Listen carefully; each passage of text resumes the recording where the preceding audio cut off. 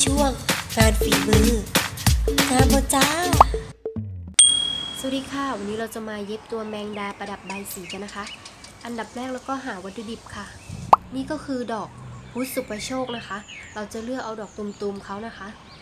วันนี้ก็เก็บวัตถุดิบที่หลังบ้านนะคะ มันมีของอยู่แล้วนะคะ เราก็เลยจะลองเอามาทำดูนะคะ แต่ว่าขนาดเขาจะเล็กนิดนึงนะคะ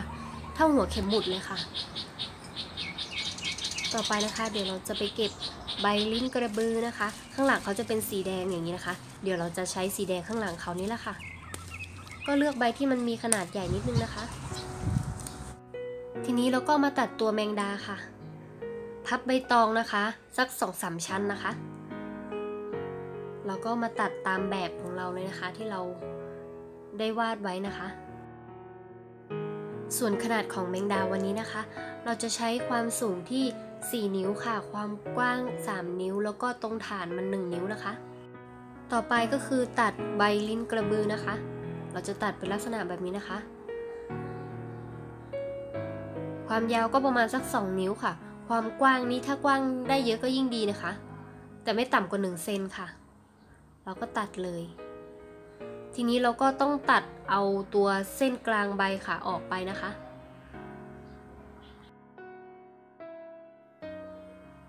เราก็ตัดไว้เยอะๆเลยนะคะ ทีเดียวเลย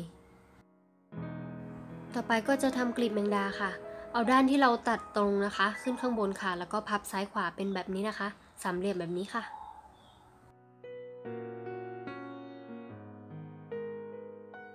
จับตัวแมงดานะคะมาประกอบกับกลีบนะคะทำแบบนี้นะคะ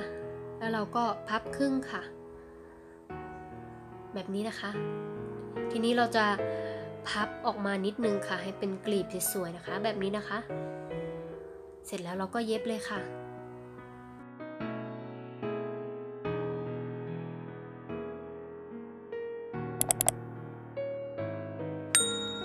เราก็ทำไปเรื่อยๆนะคะ ไล่ลงมาเลยนะคะ จนกว่าจะสุดตรงฐานมันนะคะ ส่วนระยะห่างระหว่างกลีบนะคะ ดูที่ความเหมาะสมค่ะ ถ้าเราต้องการงานปลาณีตเราก็ ทำระยะห่างแบบชิดๆกันหน่อยนะคะ มันจะดูแบบสวยค่ะ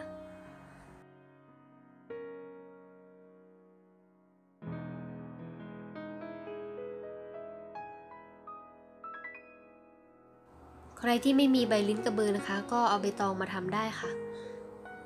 ตัวใบอันนี้นะคะเขาจะไม่ได้เหนียวเท่าใบตองค่ะ เวลาทำเราจะต้องเบามือนิดนึงนะคะ เพราะว่าเขาจะขาดง่ายค่ะ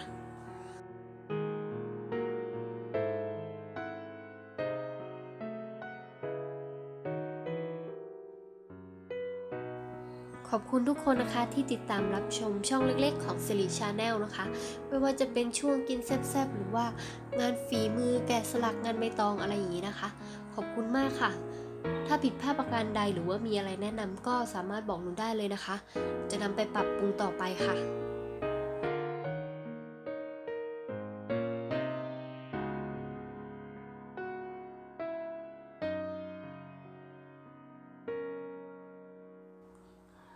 วันนี้ฝนจะ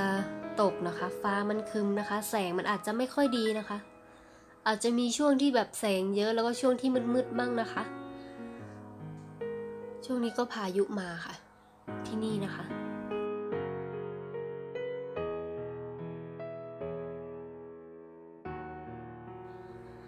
เราก็เย็บเสร็จเรียบร้อยแล้วนะคะ ทั้งสองฝั่งค่ะ ทีนี้ตรงกลางนี่นะคะ มันว่างนะคะ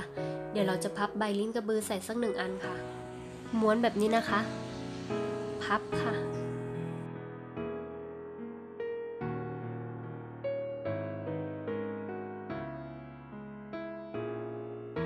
เอาไปแปะใส่ตรงกลางเลยค่ะ แล้วก็เย็บเลยนะคะ ต่อไปนะคะ เดี๋ยวเราจะเย็บดอกพุธสุปโชคของเรานะคะ เขาจะมีขนาดเล็กนิดนึงค่ะทุกคน เป็นงานที่ท้าทายมากนะคะสำหรับหนู เพราะว่ามันเล็กและเราต้องแบบละเอียดมากค่ะ ถ้าใครมีเวลาจำกัดนะคะ แนะนำให้เป็นดอกพุธที่เขาใช้ร้อยพวงมาลัยนะคะ เพราะว่ามันมีขนาดใหญ่นะคะ เย็บเสร็จเร็วค่ะ หรือใช้ใบตองพับก็ได้ค่ะ กลีบดอกไม้พับก็ได้นะคะ จะได้เสร็จเร็วๆค่ะเวลาเราวางดอกพุธนะคะ เราจะวางแบบสลับกันค่ะ เราจะวางตรงระหว่างดอกนะคะ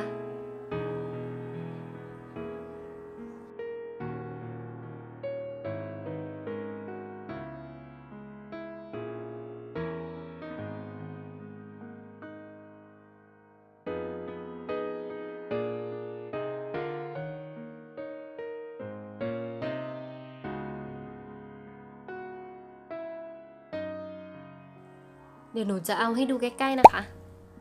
แบบนี้นะคะ เห็นระหว่างดอกไหมคะเขาจะเรียงเป็นแถวแบบนี้แหละค่ะ เวลาเราวางก็วางสลับแบบนี้นะคะ ดอกที่สองก็สลับวางอย่างนี้นะคะ ไปเรื่อยๆ เลยค่ะ จนกว่าเราจะเสร็จนะคะ จนกว่าเราจะเต็มตัวแม่แบบที่เราทำไว้นี่นะคะ มันต้องใจเย็นๆนิดนึงนะคะ มันก็จะสลับวางสวยงามเลยค่ะ ค่อยๆจัดวางแบบนี้ค่ะ แล้วก็เย็บนะคะให้แน่น